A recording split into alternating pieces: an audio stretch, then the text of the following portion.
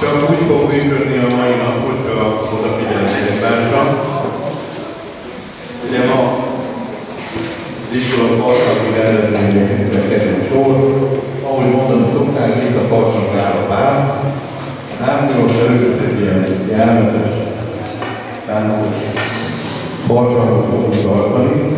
Kérnék mindenkit, hogy érezze jó magát elsősorban. Tetszett valami, akkor tapsoljuk meg. Dicsérje meg a másikat, hogy felöltözött, és próbáljuk magunkat jól érezni.